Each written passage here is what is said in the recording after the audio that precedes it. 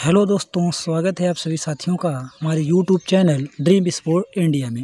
जैसा कि साथियों आईपीएल का छठा मैच शुरू हो रहा है और यह मैच 30 मार्च 2022 को समय साढ़े सात बजे doctor D Y Patil cricket stadium Mumbai में खेला जाएगा। यह मैच शाम साढ़े सात बजे आरसीबी और के के बीच में खेला जाएगा। तो साथियों, हम बात करते हैं doctor D Y Patil Mumbai stadium की। तो साथियों, आपको बता दें कि इस साल का जितना मैच हुआ है जिस पिच पर, वो तो हम अलग से ही डिस्कस करते हैं, जैसा कि आपको हम दिखा देना चाहते हैं। हैं आप यहाँ पे देख सकते हैं कैसे वाइस कैप्टन कैप्टन कैसे सेलेक्ट करना है। बाकी सबको मैं एक एक चीज़ को अच्छे से क्लियर करूँगा। लेकिन मैं आपको इसके पहले बता दूँ कि जो ये भी मैं डिस्कस करूँगा इसमें तो जो आईपीएल का इस दो हज़ार बाईस सीज़न के पहले जो मैच खेला गया था, उसके बारे में बात करूँगा। बाकी इस पिच पर कैसा इस साल टीमें प्रदर्शन करें, वो मैं अलग से डिस्कस करूँगा। तो वहाँ पर बात करते हैं तो पहली पारी का एवरेज स्कोर जो निकल के आता है, एक का। वहीं पर बात करते हैं, कुल मैच सत्रह खेला गया है। दूसरी पारी के एवरेज स्कोर एक छत्तीस रन। वहीं पर बात करें सौ से डेढ़ सौ के बीच में जो स्कोर किया गया अट्ठारह बार, डेढ़ सौ से एक सौ निन्यानवे के बीच में चौदह बार। यहाँ पर इस सीज़न के पहले जो अभी दो सौ का स्कोर नहीं हुआ है, जबकि इस सीज़न में तो हो ही गया है। तो इस सीज़न को हम अलग से डिस्कस करेंगे। बैटिंग करने वाली टीम ने अभी तक सात मैच पहले और दूसरे में बैटिंग करने वाली टीम ने सात मैच जीता है। हाई स्कोर की बात करें तो एक और लोवेस्ट स्कोर की बात करते हैं तो एक सौ बयालीस। आगे हम बात करते हैं अगर बॉलिंग रिकॉर्ड की बात करते हैं। जैसा कि डिस्कस मैंने कर ही चुका है कि सत्रह मैच जो खेला गया है, तीन से चार विकेट की बात करते हैं तो ऐसा ही दोनों पारी को मिलाकर पाँच बार हुआ है। वहीं पर बात करते हैं, पाँच से सात विकेट कितनी बार गिरा है तो ये पंद्रह बार गिरा है। वहीं पर बात करते हैं, आठ से नौ विकेट की बात करते हैं तो ये छः बार हुआ है साथियों। दस विकेट की बात करते हैं, टीमें ऑल आउट कितनी बार हुई तो ये पाँच बार हुई हैं। तो अगर हम बात करते हैं तो कुल दो सौ सोलह विकेट गिरा है, जबकि पहली पारी में ये विकेट एक दूसरी पारी में अट्ठानवे, यानी कि दूसरी पारी में जो विकेट गिरने का रेट है, वो कम है। इसलिए टीमें आप यहाँ पर भी देख सकते हैं कि जो दूसरी पारी में चेज करते हुए टीम ने दस बार जीता हुआ है। आगे हम बात करते हैं कि यहाँ पर तेज गेंदबाज की बात करते हैं तो सत्रह विकेट और मध्यम मीडियम फास्टर की बात करते हैं, एक सौ तेरह विकेट। स्पिनर ने यहाँ पर उनहत्तर विकेट चटकाए हैं।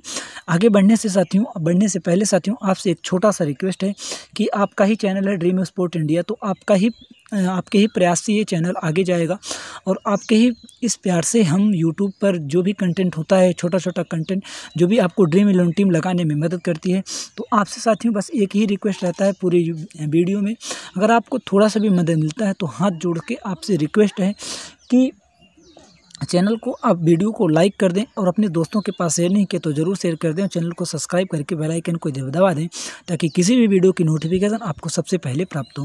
वहीं पर बात करते हैं, अगर ICB doctor D Y Patil ने आर के प्लेयर के रिकॉर्ड कैसा डुप्लेसी ने यहाँ पर ये कोई मैच नहीं खेला है। इसके पहले, दो हज़ार बाईस के पहले के सीज़न की बात कर रहा हूँ तो कोई मैच नहीं खेला। कोहली ने एक मैच में नौ रन, मैक्सवेल ने अभी प्लेइंग इलेवन में नहीं है तो ये अभी कोई मैच नहीं खेला। कार्तिक ने पिछले मैच में गजब का प्रदर्शन था, लेकिन कार्तिक ने शानदार प्रदर्शन अनुज रावत आप देख ही सकते हैं, ओपनिंग करते हुए नज़र आएँगे। महिपाल लोमरा प्लेइंग इलेवन में नहीं है।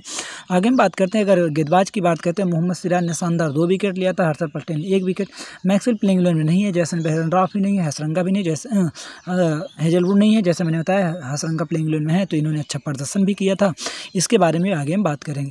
आगे हम बात करते हैं के के प्लेइंग इलेवन की, कि तो के के आर का जो प्लेइंग इलेवन है तो ये के के आर के प्लेइंग में रहाणे ने शानदार चौवालीस रन बनाए थे। वहीं पर बात करते हैं, वेंकटेश अय्यर ने भी अच्छा प्रदर्शन तो नहीं कह सकते हैं, लेकिन यहाँ पे इक्कीस रन का योगदान दिया था। तो आर फिच प्लेइंग में नहीं है, श्रेयस अय्यर, कप्तान नीतीश राणा, अंद्रे रसेल सरलन जैक्सन, जो सभी प्लेइंग में हैं। एक साथ आपको बता दें, जो सैम बिलिंग्स हैं, वो भी प्लेइंग में हैं और खेलेंगे भी। आगे हम बात करते हैं उमेश यादव जो शानदार प्रदर्शन किए थे दो विकेट लिए थे और लास्ट मैच में जो हुआ था के के आर का उसमें प्लेयर ऑफ़ द मैच भी रहे थे यानी कि मैन ऑफ़ द मैच और वहीं पर वर्ल्ड कप ने एक विकेट चाहा था शिवम मावी को कोई विकेट नहीं मिला था। टीम सऊदी अभी प्लेइंग अवेलेबल नहीं है पैट कमिंस नहीं खेलेंगे।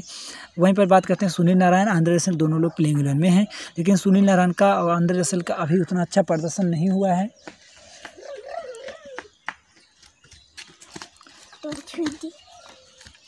आगे हम बात करते हैं आगे हम बात करते हैं तो आरसीबी के प्लेयर रिकॉर्ड 2022 में कैसा प्रदर्शन रहा? बैटमैन की बात करें डुप्लेस ने शानदार अट्ठासी रन। अनुज रावत ओपनिंग करते हुए इक्कीस रन। कोहली की बात करते हैं तो कोहली ने इकतालीस रन का योगदान दिया। दिनेश कार्तिक की बात करते हैं, बत्तीस रन इन्होंने बनाया था। रोमारियो सेफर्ट की अभी बैटिंग नहीं आई है।